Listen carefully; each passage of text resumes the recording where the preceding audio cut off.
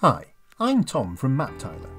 In this video, I'll show you how easy it is to create a map application with a self-hosted base map from MapTiler server. To follow along with these instructions, you'll need to have MapTiler server installed first. You can find out how to do this in the description below. You'll also need the MapTiler sample data, so make sure you download this as well. Once they are in MapTiler server, you can click on a style and see that they are ready to use as an embeddable viewer.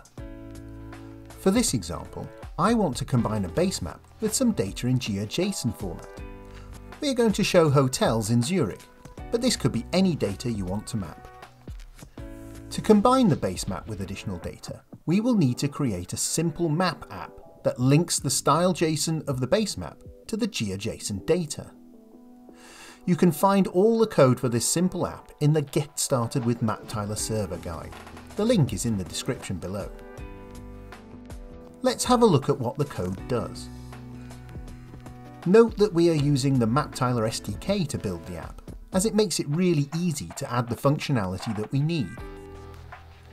Edit the script style by pasting the link to the style JSON file that you want to use.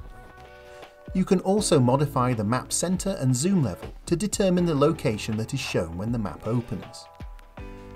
Now you can specify your GeoJSON data source, which will be added to the map as a separate layer.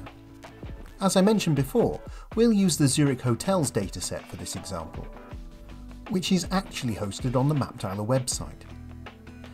Below that, you can edit things like the shape and colour of the markers on the map, which are used to represent the GeoJSON.